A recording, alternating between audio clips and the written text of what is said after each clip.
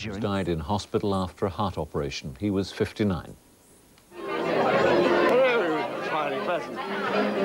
Willie Rushton was one of the leading satirists of the last three decades. His brand of offbeat humour wasn't appreciated by all, but influenced many. He began his TV career in the early 1960s on the satirical show That Was the Week That Was. His quirky and very irreverent brand of humour brought stinging satire against the establishment, particularly MPs. They were trying to rename the Liberal Party, and they came up with the Democratic Union of Liberals and Social Democrats, and realised the acronym was dull sods. Some of his witticisms were far more outrageous.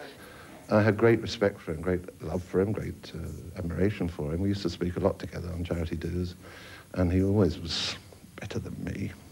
I hate to admit, but he was a great guy, brave and honest and decent. He quickly became one of the nation's most admired and endearing comic characters. His originality, combined with his deliciously fruity voice, inspired a whole new generation of comedians who couldn't wait to follow him on the warpath.